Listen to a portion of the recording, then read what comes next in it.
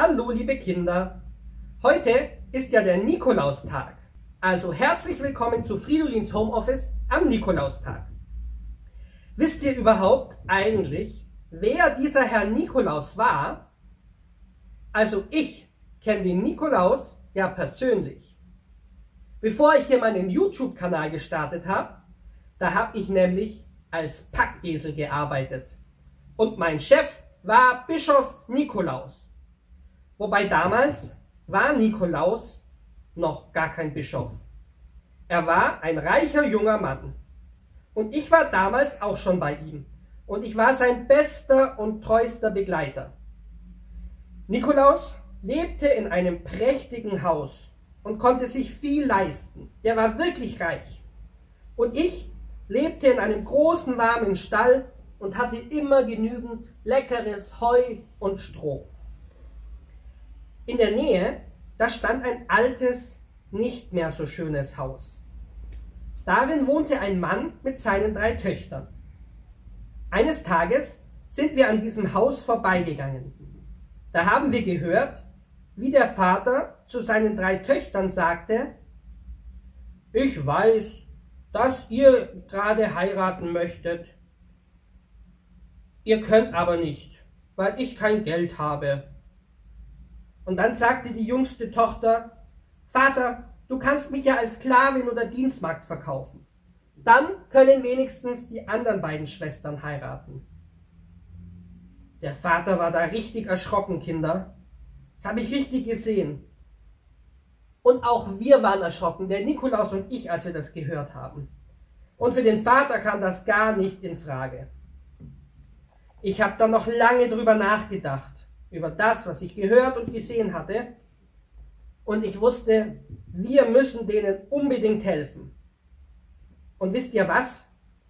Da haben wir einfach einen Plan geschmiedet. Nikolaus hat ein Säckchen geholt und lauter Goldmünzen da reingepackt.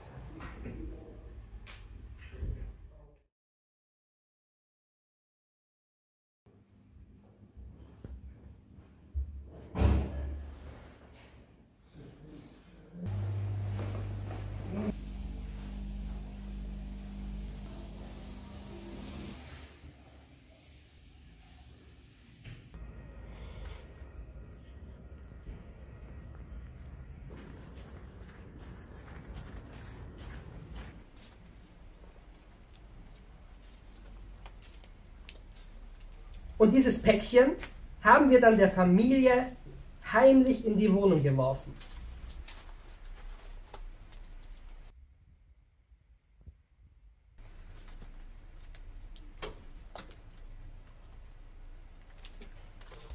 Ich sag euch, haben die sich gefreut am nächsten Morgen.